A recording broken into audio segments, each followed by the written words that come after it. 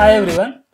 In this lecture, we will see types of groupings. One of the most important thing that you need to do when designing a topology is to define how data is exchanged between the components, like how streams are consumed by the bolts.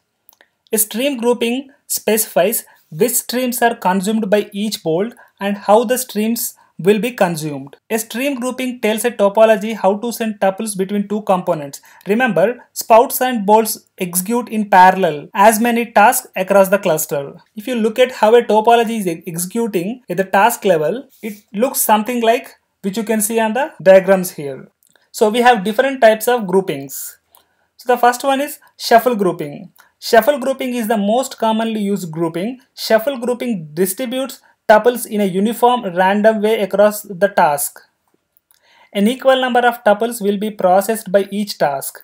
This grouping is ideal when you want to distribute your processing load uniformly across the tasks and where there is no requirement of any data driven partitioning. And the next one is all grouping. All grouping is a special grouping that does not partition the tuples but sends a single copy of each tuple to all instances of the receiving bolts.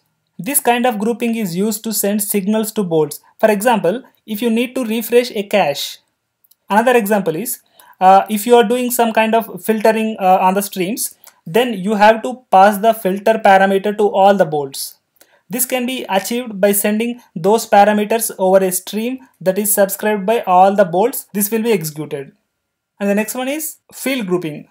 Field grouping allows you to control how tuples are sent to bolts based on one or more fields of the tuple. It guarantees that a given set of values for a combination of fields is always sent to same bolt. For example, if you want that all the tweets from a particular user should go to a single task, then you can partition the tweet stream using field grouping on the username field so that all messages from that uh, user will go to one bolt.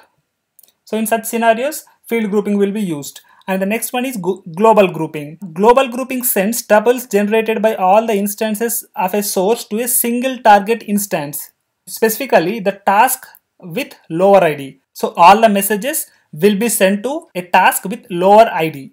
A general use case of this type is when there needs to be a reduce phase in your topology where you want to combine results from previous step in the topology in a single bolt it's like you know we are collecting uh, data from all the bolts. And if you want to sum it up in such uh, scenarios we will use global grouping